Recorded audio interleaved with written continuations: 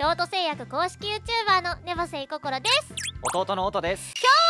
どうしてもやりたい企画があるの。どうしても。どうしても。何ですか？いやー年末に話題になったあのネタ。あれじゃないですか。ありますね。あれをやりたいの。大丈夫？いや大丈夫大丈夫。俺不安しかないよ。いや難しいよだってってるけどなあ私たちなりにねやれる方向を今日は探してきたんで。おそう。おなるほど。もうネタは考えてあるよ。え私たちなりのね。じゃあもううん分そうかった。私たちなりでもう私たちなりのグランプを目指して頑張るぞ。グランプってなんだろう。グランいやーちょっと姉ちゃん聞いてよ。プリどうした？母さんがさ好きなロート製薬の商品があるらしいんだけど、うん。その名前を忘れたらしくてね。いやー好きな商品の名前を忘れてもうたってどうなってんのそれ？えいろいろ聞いたんだけどさ、うん。全然それが分かんないんだよね。分からへんのやうん。ほなお姉ちゃんがなおかんの好きなロート製薬の商品一緒に考えてあげるから、うん。どんな特徴を言ってたか教えてみてよ。なんか、うん。緑色のパッケージで、うん。スティック状の商品らしいんだよね。あーそれメンソレータムやないかい。その特徴はもう完全にメンソレータムやがな。やかなやがな緑色でスティック状言うたらメンソレータム薬用リップスティックや。世界中で120年以上も愛されるメンソレータムブランドの中でも高い人気を誇る薬用リップスティック。お姉ちゃんも大好きな商品やであーメンソレータムのリップスティックね。すぐ分かったやんこんなん。ただちょっと分かんないんだよね。何が分からへんの？いや俺もメンソレータムだと思ったんだけどさ、そやろ？母さんが言うにはね、うん。無人島に何か一つ持っていくなら迷わずそれを選ぶらしいほんなメンソレータム違うか。無人島に何持っていくかっていう議論はだいたいナイフ派とライター派の戦いになるもんな、うん。そこにメンソレータム派は1ミリも入る余地ないから。確かに無人島に漂流したら唇の乾きになって二の次やからな。あメンソレータムは絶対持っていかへんわ。そうだよね、うん。ほなもうちょっと詳しく教えてくれる？今まで何回も買ったことあるらしいんだけど、うん。使い切ったことは一度もないらしい。メンソレータムやないかいそれ。もちろんメンソレータムのリップスティックは素晴らしい商品やね。うん。素晴らしい商品やけどなぜか最後まで使い切った記憶はないねん。あでも定期的に買ってる記憶はあるんーよ。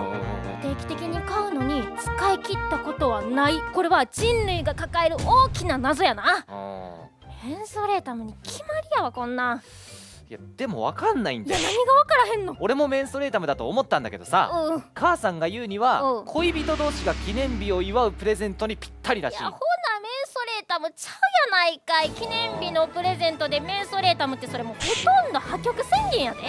まあそれくらいリーズナブルな商品ってことやねんけどな。記念日に渡していいのはせいぜい高級ブランドの口紅とかや。彼女は次のデートでその口紅をつけて彼氏喜ばせるんやからな。メンソレータムはいくら塗っても無色透明のままやからなうんメンソレータムちゃうやんかほなもうちょっとなんか言うてよその商品が手放せなくなると、うん。冬が来たなって実感するらしい。いやメンソレータムやないか。日本の冬の訪れはメンソレータムが教えてくれます。それくらいメンソレータムは日本人に寄り添ってんねん確かに。やろ？姉ちゃんはな冬の季語にメンソレータムが入ってもおかしくないと思ってるから。それくらい冬に欠かせへんのやからな、ね。メンソレータムあだから決まりや。ーいや分かんないんだよでもそれが。えなんで分からへんいやのこれで？俺もメンソレータムだと思ったんだけどさ、うん。うんその商品は転売サイトで高額取引されてるらしいの。なメンソレータムちゃうやないか。そういうのはなかなか手に入らへんアイテムとかに起きる現象やで。メンソレータムの魅力の一つは手に入りやすいという点なんやから。コンビニ入ったらだいたい目の前の棚に大量にぶら下がってるんやからあプレミア価格で転売されるような商品ちゃうんよ。ほなもうちょっとなんか言ってなかった？ー長いことカバンに入れてると大体行方不明になるらしい。いやメンソレータムやないかそれ。ああれ絶対カバンの中でどっかに消えんねん。ほんで一度見失ったら見つからへんからな。最後まで使い切ったことないんやんか。あー。あー謎解けてもうたがな。買うカバンの中でなくす買うこの繰り返しや。なくさんよ気をつけなあかんわ。メンソレータムで決まりやなこれはでもでも分かんないんだって。なんでよ。母さんが言うには、うん。K1 ファイターが試合の直前に使うらしい。メンソレータムちゃうやないか。うん。試合直前に唇のコンディション気にしてる格闘家は多分負けるで。